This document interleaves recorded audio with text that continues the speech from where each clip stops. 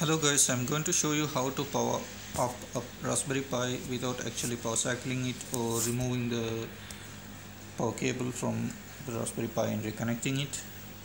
So this is going to require a breadboard, uh, two jumper wires, these are male to female jumper wires and a small tactile button.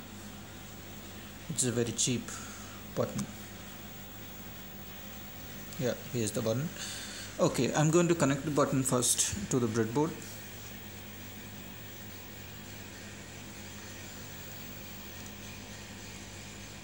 Okay button is on the breadboard now. And then I connect these two wires.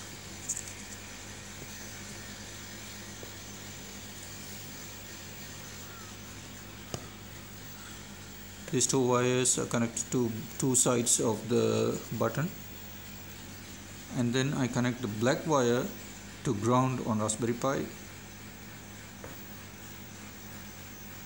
So I connect it to pin number 5 which is a ground.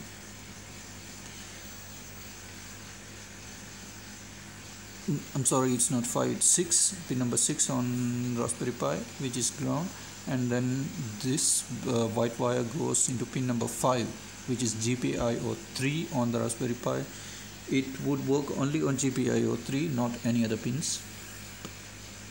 So we connect it to GPIO 3 pin number 5 on Raspberry Pi. Here it's connected.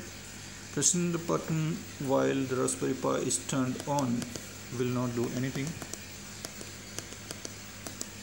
Nothing happens. So I'm going to shut down the Pi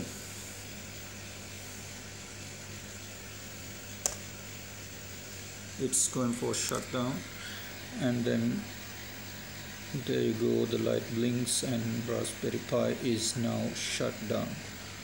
So normally I would need to remove the power cord and then replug it again to bring it up. But then now I'm going to use the button. Here's the button I'm going to press the button. And then Raspberry Pi will power up. You can see the uh, green light here would come on. I'm going to press it you saw the green light? And then it is coming up. So that's it. With just a couple of jumper wires and a tactile button we could make a small button which would just power uh, up a Raspberry Pi without actually removing the cable. Thank you guys for watching.